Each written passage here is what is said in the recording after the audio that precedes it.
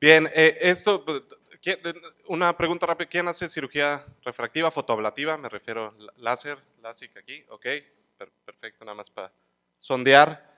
Eh, es un problema que todos vemos, eh, insatisfacción del médico y también frustración obviamente de los pacientes, viceversa. Y cifras, hasta 20% terminan con una evaluación por, por alguien en, en córneo, superficie ocular. Eh, nos lleva tiempo estudiar a estos pacientes.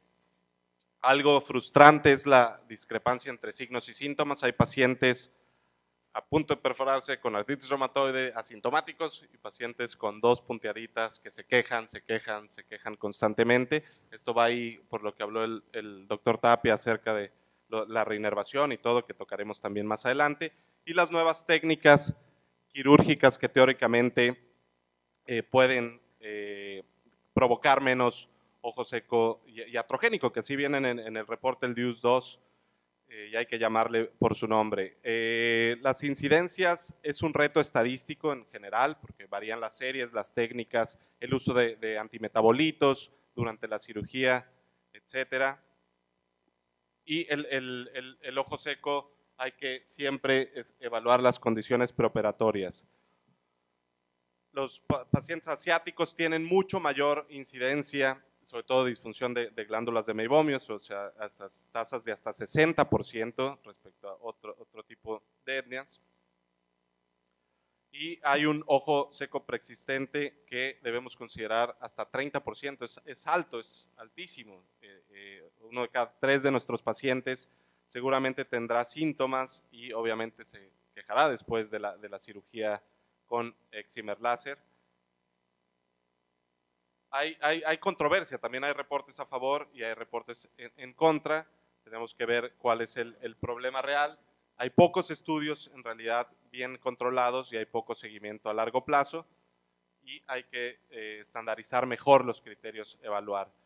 Hay, algo que por ahí en, inglés line, que es una epitelopatía post-LASIK que está ya cada vez más descrita, y un, y un fenómeno fantasma que es que la córnea transmite impulsos eh, eh, nerviosos anormales que el organismo detecta como si fuera resequedad, realmente no lo es. Y hay estudios nuevos también fantásticos, como el epitelio crece sobre el trayecto de reinervación. Entonces la relación nervios-epitelio eh, es, es, algo que cada vez gana más solidez científica. También obviamente la creación del flap, colgajo, charnela, bisagra, que le llaman varios países y la presión eh, que este induce sobre la superficie ocular. E, esto es relevante, de hecho hay, hay, estudios fantásticos sobre también la relación nervios, eh, venas, factores angiogénicos y también linfáticos. Entonces hay que seguir eh, aprendiendo, analizando y, y, algo proinflamatorio. Es un estado proinflamatorio que puede generar esta, esta cascada y el daño que generamos. Finalmente es una termoablación, un daño directo, una quemadura directa a la, córnea, lo cual va a generar todos estos mecanismos proinflamatorios y este círculo vicioso. Factores de riesgo asiáticos, por ahí vemos, eh, sobre todo ya hay ciertas ciudades con más afluencia asiática.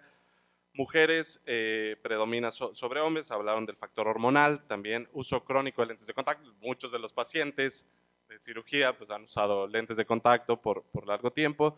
Interesante también este polimorfismo, este gen es un gen antiangiogénico, entonces pacientes que tienen poco poder antiangiogénico, por llamarlo así, pueden ser más propensos a generar ojo seco moderado a severo. Y todos vemos pacientes también posterior a cirugía, blefaroplastía, etcétera. Factor número uno, y quizá el mensaje más importante, ojo seco preexistente. O sea, se nos pueden ir, se nos, eh, por, a veces por operar o todo, ya ni, tomamos mediciones. No, creo que vale la pena detenerse porque puede ser un problema y una causa de inconformidad, aparte de todo lo que hacemos eh, de análisis eh, previo para cirugías refractivas. Al menos estas, estas mediciones, obviamente a mayor también corrección, pues mayor daño. De hecho, la mayoría de aprobaciones ha bajado el, rango, sobre todo en ablación miópica. y el tiempo de succión y obviamente el grosor de, del colgajo del flap. Hay debate entre la localización del flap o de la bisagra del, flap. Eh, hay estudios que soportan que superior es, es mejor. Eh, por otro lado, también hay estudios donde dicen que hay más stems del superior, entonces hay más forma de reparar. Entonces ahí hay cierto debate. Eh, hay quien prefiere por comodidad de cirujano hacer las nasales, hay quien prefiere, prefiere preferimos superiores, eso varía en realidad en cuanto a ojo seco y hay estudios que se contraponen. Eh, hay cierta evidencia que favorece también a, láseres de femtosegundo en cuanto a ojo seco, también depende de técnicas, no solamente si es, es lásico, es flap, y también flaps más, más delgados teoría hay menor daño, hay menor profundidad a los daños, sobre todo a los nervios profundos. Entonces sí podemos, aparte del riesgo de ectasias yatrogénicas, eh, protegernos con riesgo de ojo seco en cuanto a grosor de flap, pues puede ser sensato eh, buscarlo. Eh, los pacientes se quejan, a veces los síntomas son inespecíficos, todos tenemos pacientes que se quejan de resequedad, cansancio, disminución, el, problemas en el parpadeo, Objetivos, ya mencionamos varios, y es realmente raro que hagamos OSDI. A veces no tenemos tiempo, eh, osmolaridad en pocos centros, ya vimos que quizá no es repetible, eh, que nos pongamos a contar las células goblet es casi imposible. Sí, y el DIUS también recomienda eh, hacer expresión de glándulas de mebomio, igual como tomamos presión intraocular, algo rutinario, antes eh, y, en todo paciente, independientemente si es cirugía refractiva o no, o sea, añadirlo a nuestro examen oftalmológico. Y eh, la anamnesis o el interrogatorio que también se ha comentado es quizá lo más relevante, recordar que el ojo seco evaporativo es peor en las, en las mañanas, entonces nos puede dar una orientación de, también de qué ojo seco está predominando más muchos pacientes van a tener fluctuaciones en la, tanto en la visión cercana y lo vemos también como tardan más en recuperar visión cercana después de la cirugía fotoablativa. Y este, supongo que, otra pregunta a, la audiencia, ¿quién les, les dice de rutina a los pacientes que van a tener ojo seco? Dos, tres. También muchas veces, siempre preguntan, ¿no? ¿De qué complicaciones hay? ¿no? ¿Y quién les dice que es transitorio? Si no, no, si no es difícil convencerlos ¿no? que se opere. Esta gráfica es fantástica, gracias a doctor Müller que nos ayudó en todo esto. Esto es la duración de los síntomas eh, eh, a lo largo de los meses. La tinción corneal va a durar alrededor de, de 6, 7 eh, meses por ahí. Las pruebas de Schirmer van a estar alteradas hasta 7, 8, 9 meses, casi un embarazo. ¿no? Y el tiempo de ruptura de película, el, el T-boot o tiempo de ruptura de película lagrimal, ese puede mejorar. Entonces, que haga Schirmer y el paciente siga quejando, quizás es buena idea ahí también realizar estas pruebas. A veces rayar lo que hacemos es pegar la etiquetita a veces en el expediente, ¿no? Con la línea para demostrar. También es bueno demostrarle, mira, sí, mejora, sí tuviste ojo seco, pero mejoraste a lo largo del tiempo. Entonces, esto hay que tenerlo en consideración porque hay, pruebas que tardan o llevan tiempo en mejorar. Lo mismo hay estudios donde eh, la osmolaridad cambia después de, la cirugía fotoablativa. También, e, este también eh, eh, componente de inflamatorio es, relevante y ha ganado relevancia, medir las metaloproteinasas. Hay, hay, otros estudios de, de, la densidad nerviosa, tanto en microscopía confocal y también eh, varias, la altura del menisco es, es relevante. Tenemos la, la, fortuna de tener en el, en el hospital, en el Conde Valenciana, este equipo, la Cridiac, se perdió un poquito, pero a mí, quizá no para, para, para refractiva, pero mebografía creo que es increíble mostrarle al paciente de, está, está así, ya te creen, si le dices, tiene ojo seco evaporativo, hasta que ve la, la foto y la imagen como tal de, de, la afección de las glándulas de meibomio, otra es la, interferometría y el tiempo de ruptura no invasivo. Hicimos un estudio pequeño en pacientes sometidos a, a, LASIK y a, PRK, donde, vean, el, tiempo de, ruptura de película lagrimal, estando en 10, se va hasta 5. Este es en el periodo postoperatorio temprano, pero como esta, esta disminución importante en el tiempo de ruptura, por aquí hay un, un par de videos, el estado preoperatorio y postoperatorio, tanto como la, la, capa lipídica se ve afectada, y aquí quizá este es el, el más claro, como el, en, en, su lado derecho prácticamente los anillos estando perfecto en el preoperatorio y eh, defectuosos o sumamente notorio en el postoperatorio temprano. Eh, el tema de, de, inervación, perdón que insista tanto, pues es el que agrega el DIUS 2 y tengo cierto, eh, me, eh, me, interesa y me gusta este, este, este, tema de sensibilidad corneal, que es, que es relevante. Otra cosa que a veces se nos va a medir, que es sumamente relevante medir de, de rutina, la, la, la, sensibilidad corneal. Hay ciertas patologías, de hecho, que podemos descartar. Y cómo los nervios tardan cierto tiempo, a veces hasta dos años, y hay quien dice que mucho más en, en regenerar o re, reparar, y hay quien dice que de plano nunca llegan a, a, a buscar el, el, mismo trayecto. Vean cómo la densidad, tanto en LASI como en PRK, lleva tiempo en reparar esta, este, esta lesión a los nervios y a la, la sensibilidad hay varios estudios, obviamente también después de tanto de, de LASI como de eh, trasplante o queratoplastía.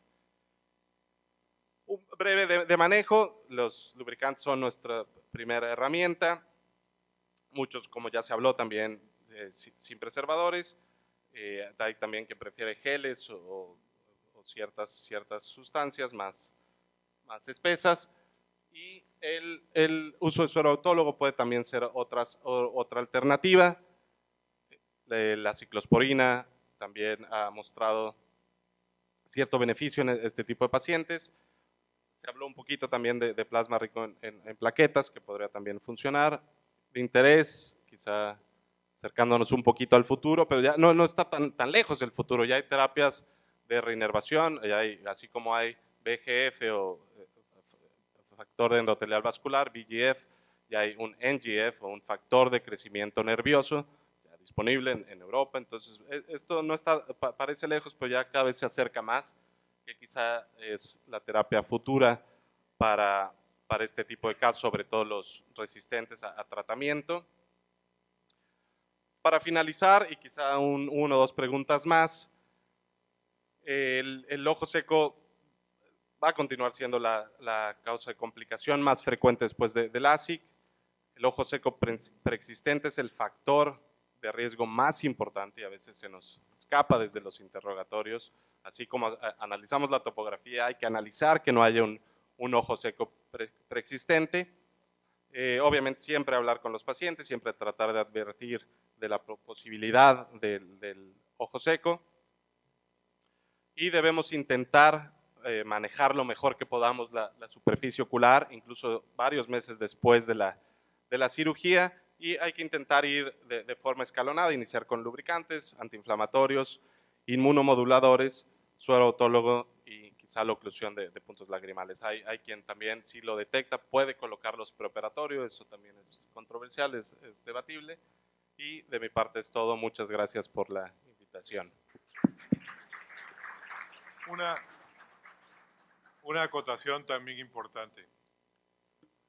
Catarata es la reina de las cirugías en oftalmología.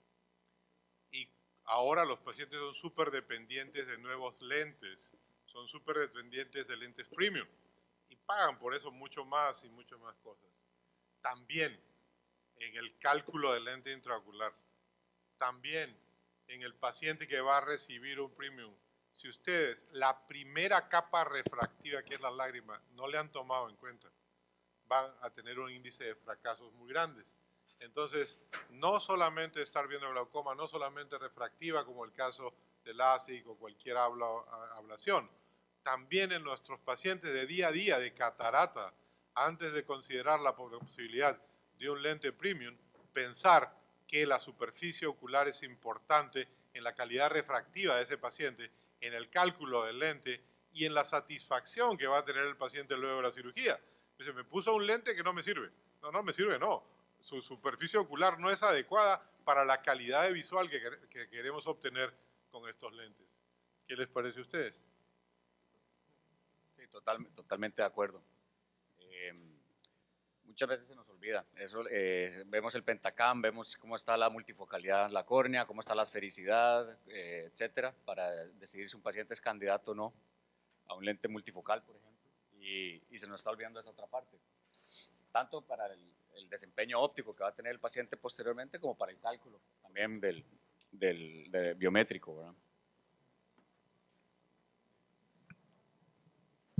¿Alguien que tenga alguna duda o comentario? Sí, por favor, adelante. Buenas tardes. Bueno, se ha hablado mucho de la osmolaridad como un factor determinante para este problema. Los tres ponentes lo mencionaron, pero algo que no mencionaron es, eh, yo creo que algo que el doctor de la Torre decía, si quién, quién es importante, eh, para quién no es importante, pero creo que de rutina no lo hacemos en el consultorio. Entonces sería interesante conocer en su experiencia con qué método están midiendo osmolaridad y qué opciones hay para tomarla en cuenta como un procedimiento más rutinario. Bueno, en caso particular mío es el, el, el PEN, el, la, lo vas tomando por, un, por capilaridad. Creo que esa es la más práctica en mis manos. Eh, si nos ponemos un poco más específicos y estamos en una institución que tiene más medios, no nos olvidemos de citología de impresión, por ejemplo, para algunas cosas que también no tiene nada que ver con este asunto, pero interesante. Hay otros eh, medidores de osmolaridad que ya son más caros, ¿eh? que vienen integrados y que te, tienen un, un reusable que en, mis, en mi opinión me parece demasiado. Es demasiada lata para tan poco atún, decimos en mi país. Entonces, yo creo que con un pen te estás manejando en mis manos tranquilamente para lo que yo quiero hacer. Ahora, si yo me dedicara a córnea o si buscaría algún tipo más, buscaría informarme no solamente de esto, citología de impresión, estaría hasta ahora, por ejemplo, me podría dar a mí indicaciones en glaucoma que están teniendo que ver con eh, la cuestión de la película lagrimal. Pero obviamente depende qué quieras. Ahora, de rutina, no lo es.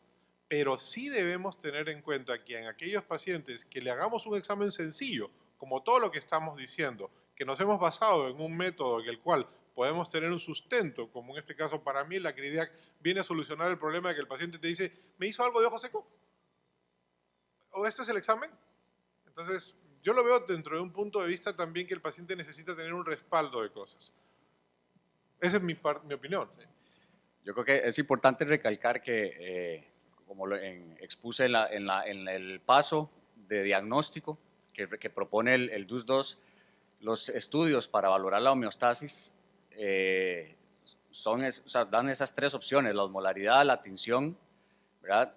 Pero no, es, no hay que tener los tres, ¿verdad? Con uno de ellos basta para poder hacer diagnóstico y de ahí pasar al paso más importante, creo yo, que es el que, lo, el, que nos apoya mucho, que es el determinar el tipo de, ojo seco predominante que estamos, que estamos teniendo. Entonces, yo también considero que la osmolaridad no es, no es indispensable. Eh, y como lo dije ahora, que si está normal, la verdad que no, le, no, me, no me va a cambiar en nada mi, mi, conducta. Si está anormal, pues sí, tal vez me va a ayudar un poco a, ver el grado de severidad y más para el seguimiento de, ese paciente, ver si hay una, una mejoría en, la, eh, objetiva en la osmolaridad. Pero eh, quería hacer hincapié en eso. Acuérdense que esos tres estudios, eh, el NIUT, la osmolaridad y las tinciones, que son los tres propuestos para confirmar el diagnóstico de ojo seco, eh, no tienen que ser simultáneos, o sea, no hay que tener los tres para poder hacer ese diagnóstico, con uno de ellos es, es, suficiente. Hay otra cosa importante, por ejemplo, tú derivas y encuentras un problema en la capa lipídica, entonces tu suposición es cómo reemplazo estas cuestiones, ¿no? O sea, básicamente recurrimos a omega 3 o recurrimos a linaza. En Brasil hay un estudio muy interesante sobre aceite de linaza o sobre algunos tipos de cosas, pero también nos, nos damos cuenta que hay algunas cosas que podemos tener un, un, un, algo suplementario, pero hay cosas que no. Entonces se nos complican las... Eh, lo que es importante, yo estoy de acuerdo contigo, es saber en dónde estamos ubicados, cuál es la capa que vamos a tener, para, que, que vamos a tener que hacer la mímica de esa capa de acuerdo a las cosas. No, ¿cuál es el tratamiento común que había antes de ojo seco? Yo me acuerdo muy claro, yo soy más viejo que ellos dos, Entrábamos a la residencia y le tenías tres, tres gotitas. Alcohol polivinílico, tenías este, Dextran 70 y tenías otro. Tome las tres, señora, y con la que mejor le, se le quede, quédese con ella. No hacíamos eso, hasta ahora se hace. No, lo que le estamos planteando, por lo menos mi, mi enfoque es, busquemos que tengamos una patencia cuál es la capa que está en problema o cuál es, cómo influye la osmolaridad en esto o no, y de ahí plantear el tratamiento que sea el tratamiento supletorio de aquello que nos está faltando. No sé. Ahora que, que lo mencionaste, eh, aprovechar Navas, que también que siempre estás al día en la evidencia científica, ¿qué, qué, qué pensás de, del DREAM, del, sobre el tema de omega 3, eh, ahora la controversia con el, con el DREAM, ¿verdad? Que básicamente hay una, una, una controversia en Estados Unidos si, los, si sirve o si no sirve para nada. Y de hecho ahora en, en, en Cornea 360 hubo una, todo un simposio de discusión, pleito bonito. Sí, bastante. Gracias. Se supone que yo hacer las preguntas, pero gracias por la pregunta. Difícil, bueno, es evidencia en New England Journal of Medicine, hay que, hay que entender el, el, el impacto de, este, de esta publicación es, es muy alto eh, supongo que debatieron lo mismo, no, no tuve el gusto de estar en, en, ese curso, pero no hay solidez, pero falta una cifra grande, un ensayo clínico mucho más grande, que sería complejo realizarlo. Pero sin duda hay, hay, hay cierto factor antiinflamatorio, de hecho creo que la tendencia va por ahí, de hecho daño no, no se les hace a los pacientes hasta donde se sabe, hay que ver bien las dosis también de tanto omega 3 como, como omega 6, porque tienen esta dualidad que unos pueden ser protectores y dañinos, etcétera. Y este, sigue la, la, el debate y controversia. ¿no? Hay, eh, yo lo usé mucho tiempo, yo ahorita tengo más dudas de si usarlo o no, pero finalmente hay casos complejos que hay que valernos de las herramientas que tengamos. Y creo que nos queda poco tiempo. Si ¿Alguien tiene otra pregunta? Sí. Ah, bueno. Sí. Una última pregunta. Claro. Eh, en tu experiencia, ¿qué medicamento para tratamiento de glaucoma has visto que es menos tóxico para la superficie ocular? Buena pregunta. Este, yo no te voy a decir ninguno comercial. Por ejemplo, lo, lo, yo trato de escoger ahorita mis, mis, medicamentos dentro del espectro de los que no tienen preservantes. Mi, mi, mi número uno. También me crea problemas. Por ejemplo, hay una parte ecológica en mí que me dice que las monodosis pueden ser a veces más contaminantes que una, una que venga en, una, en un frasco de exclusivo. Han salido, exacto, multidosis. Han salido una serie de, de medicamentos en frascos especiales que es, básicamente yo me estoy orientando hacia eso. Pero a veces no hay la, la no te puedo decir exactamente, yo te voy a hablar de la tendencia, no te voy a decir un medicamento tal. Normalmente nosotros comenzamos, yo comienzo, de acuerdo a la segmentación de los pacientes. Si estoy en el hospital por cuestiones de precio, yo sigo usando beta bloqueadores en los pacientes, que es lo más barato que hay. Pero les doy la alternativa de decir, oiga, contrólese o dígame cuando usted va a sentir problemas en el ojo, porque ahí viene la cuestión de nosotros, o sea, tenemos que actuar frente al ideal, pero la realidad nos golpea cada rato y nos dice, como tú muy bien dijiste hace un rato, hay cosas que queremos hacer y no podemos hacer. La primera. La segunda, yo sí soy de aquellos que usan de terapia de primera línea análogos de prostaglandina solos, como la primera. Tienen impacto, o sea, no es que tengan un impacto directo sobre el ojo seco, pero sí, sí tienen un impacto, a pesar de que no hay muchas publicaciones, ¿eh? El mismo, el, la misma sensación del paciente de sequedad, de ardor y de molestia da síntomas. ¿Qué es transitorio? Sí es transitorio a la semana. De hecho, una de las razones que me convenció a con, con, o sea, eh, convicto y confeso del SLT fue el hecho de todas las, de todas las alternativas. Sí. No queda, o sea, resumen final de lo que te estoy diciendo. Vas a tratar glaucoma, busca primero, primero identifica el tipo de paciente si va a cumplir. Si a un paciente de baja condición le pides, por ejemplo, que compre una gota de 90 soles, 100 soles, contra una gota que cuesta 10 soles, y el compliance va a ser diferente, va a ser mejor el medicamento, pero no va a ser.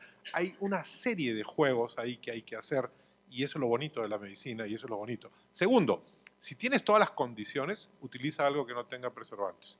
Tercera, si tienes la posibilidad de ofrecer de primera línea SLT, eso es lo que hago yo y me va bien. Tiempo, Y, sí. y la, la opción es, no funciona, pues regresas a tus medicamentos, vas a iniciar medicamentos.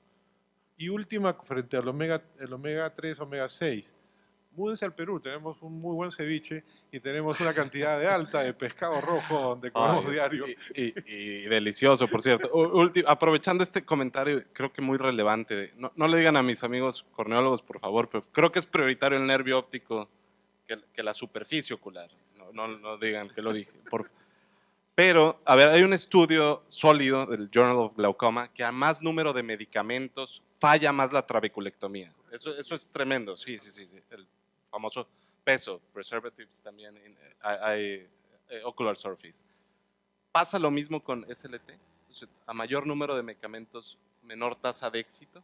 Lo que sí, en el sentido sí, perdón, sí, en el sentido de que depende el SLT de algunas cosas bien importantes. Primero, yo lo ofrezco como terapia en el paciente virgen porque va mejor. Eh, Hay estudios que lo han visto, ese es clarísimo. Eso es claro. Segundo, yo lo determino por, el num- por, la, por la presión intraocular con la que viene. Si es mayor, su tasa de disminución es mucho mejor. Tercero, no hay estudios endoteliales, o sea, hay estudios que dicen que no hay daño endotelial. ¿Por qué? La cantidad de energía que tú das es muy baja, diseminada, es un spot bastante grande, es automático, va excelentemente bien. Tercero, no actúa sobre el tejido, actúa con una fotolisis sobre la melanina. Entonces va muy bien en nuestros ojos cholos, en nuestros ojos pigmentados. Eh, Va excelentemente bien. más y comen ceviche. Es más, si comen ceviche. Y este, tenemos esas ventajas. Ahora, no creo, lo que sí te digo, ¿qué pasa cuando nosotros hacemos el SLT, utilizamos el lente latina o el lente de Folk o el lente que sea? Mira, el hecho de poner el lente durante el tratamiento, que es corto, tengo una gran cantidad de pacientes que vienen con esfacelación al día siguiente. ¿En quiénes? En quienes les he puesto el SLT luego de que han tenido terapia. En todos los pacientes que son noveles, que son primeros, nunca he tenido ninguna, ningún problema de superficie ocular en ponerlos. Pongan en la balanza dónde van las cosas. Bueno, pues nos acabamos el tiempo. Muchas gracias nuevamente a Cuantel Médica por sponsor de este simposio. Gracias.